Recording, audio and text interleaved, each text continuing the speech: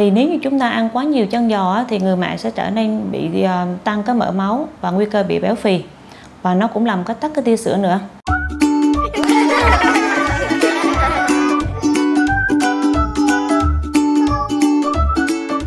Chủ đề hôm nay chúng ta cùng tìm hiểu đó là nuôi con bằng sữa mẹ được tư vấn bởi bác sĩ Nguyễn Lê Hồng Vân, trưởng khoa dinh dưỡng bệnh viện Hoa Mỹ Đà Nẵng. Sữa mẹ là thức ăn tốt nhất dành cho trẻ sơ sinh và trẻ nhỏ, vì vậy nó phù hợp nhất đối với trẻ bởi trong sữa mẹ có chứa đầy đủ các thành phần chất dinh dưỡng cần thiết cho trẻ. Với những thành phần cân đối và phù hợp này thì giúp cho trẻ dễ tiêu hóa, dễ hấp thu nhất. Đặc biệt sữa mẹ rất là giàu chất béo, có chứa thành phần DHA và ARA, giúp cho trẻ bú mẹ thì thông minh hơn so với những đứa trẻ và bú sữa công thức. Sữa mẹ chứa rất là nhiều kháng thể và tế bào miễn dịch từ mẹ thì giúp cho trẻ ngăn ngừa được những cái bệnh lý về tác nhân trong những cái năm tháng đầu đời. Thì ờ, sữa mẹ nó luôn sẵn có và nó là nguồn kinh phí tiết kiệm đối với gia đình. Đặc biệt khi mà bé bú mẹ thì giúp cho mẹ và bé nó thắt chặt tình cảm hơn. Và khi mà bú mẹ thì bé uh, ờ, tử cung của mẹ thì sẽ co hồi tốt hơn giúp cho mẹ giảm tình trạng mất máu sau sinh. Sữa non nó sẽ xuất hiện trong 3 tháng cuối của thai kỳ và nó chỉ vọn vẹn trong 72 giây đầu sau sinh nếu như mà bỏ qua cái giai đoạn này á, thì bé nó không có cơ hội lần thứ hai để nhận được cái lượng colostrum quý giá này. Đặc điểm của sữa non thì nó rất là ít nó chỉ là những cái rỉ sữa colostrum thôi. Nó có màu vàng nhạt và giàu năng lượng giàu đường lacto ít protein và giàu các chất diệt khuẩn. Đặc biệt nó có trong vòng giờ đầu sau sinh. Thì nguồn cái sữa non nó có lượng vitamin A gấp 10 lần so với sữa thường khác và nó ít canxi, ít phosphor và làm cho giúp cho tống suất phân su nhanh hơn nó giảm tình trạng vàng da sau sinh thì sữa non có rất là nhiều yếu tố phát triển cho ruột trưởng thành giúp chống dưỡng giúp cho dung nạp cái thức ăn khác tốt hơn. Trong hai ngày đầu tiên thì cái dạ dày của trẻ chỉ khoảng là bằng một quả cherry thôi nên cái lượng sữa của bé cần chỉ khoảng 5 đến 7 ml một lần bú là được. Vì vậy mẹ nên cho bé nó ngậm khớp đúng ôm bé đúng tư thế và yên tâm cho con bú.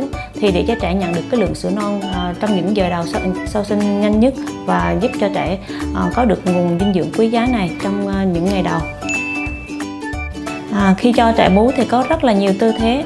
Đó là tư thế hình nôi. Tiếp theo là tư thế nằm nghiêng. Thứ ba nữa là tư thế sau sinh mổ thứ tư nữa là tư thế gấu co la. Thứ năm là tư thế ngã lưng về sau. Thì à, khi mà trẻ bú mà đúng cách á, thì toàn thân trẻ phải áp sát vào người mẹ và trẻ phải cảm giác dễ chịu nhất và thích thú khi mà bú khi trẻ bú thì cái miệng bé nó phải hở to ra ngậm được sát vào trong cái quần răng của mẹ càng nhiều càng tốt.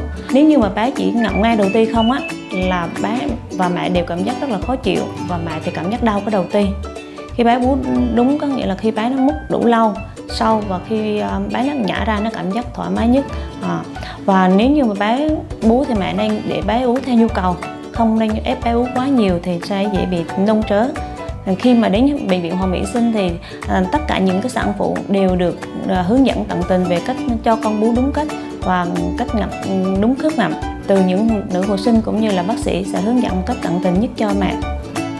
Hôm mình nghe ông bà xưa hay truyền miệng những quan niệm về việc nuôi con phải thế này, phải thế khác. Vậy những quan niệm đó thực tế có phù hợp và khoa học không?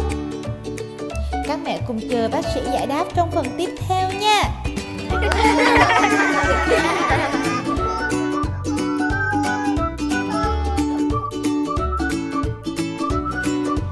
Trẻ bú sữa mẹ phải cho uống thêm nước, nếu không trẻ sẽ khát nước.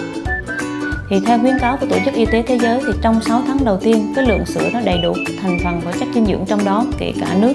Vì vậy không có cho trẻ uống thêm bất kỳ một cái thành phần gì khác.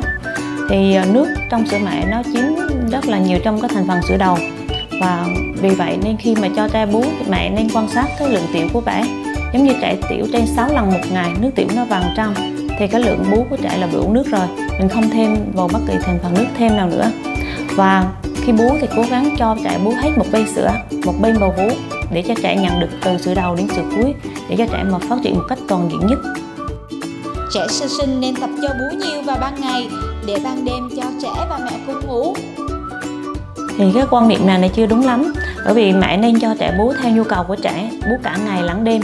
Thì trẻ sẽ tự biết là khi nào trẻ đói và có dấu hiệu tìm đến bú mẹ để bú.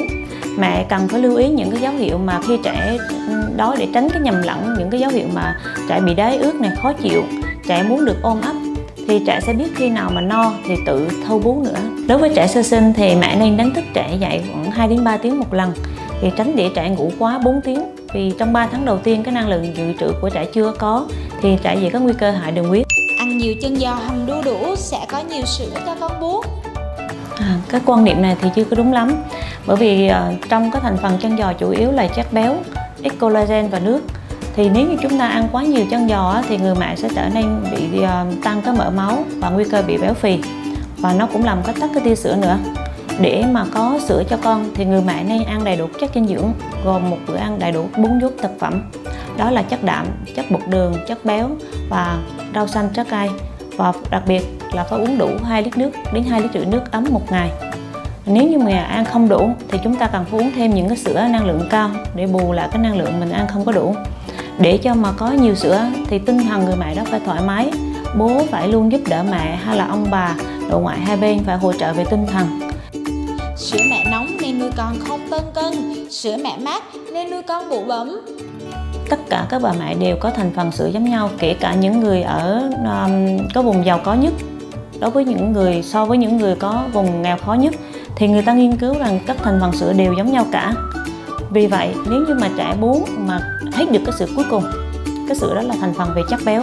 Cái thành phần đó rất là nhiều năng lượng thì nó sẽ giúp cho trẻ bù bẩm hơn nếu như những một số bà mẹ chỉ cho rất là nhiều sữa nhưng mà con vẫn không có tăng cân thì mình đổ lỗi cho mình là sữa nóng nhưng mà thực sự là người mẹ đó chỉ cho con bú được cái sữa đầu tiên không thôi cái sữa đó thì chủ yếu là thành phần là nước protein kháng thể. Thì ờ, bé chỉ bú qua bú, bú sữa viên đầy no rồi cái nhả ra nó ngủ. Thì mẹ lại đổ sang bên kia. Thì trong khi đó cái sự cuối cùng trong bầu vú của mẹ thì bé vẫn không nhận được hết. Thì lúc đó là bé không có đủ năng lượng để tăng cân dinh dưỡng trong một ngàn ngày đầu tiên rất là quan trọng đối với sự phát triển của trẻ sơ sinh và trẻ nhỏ.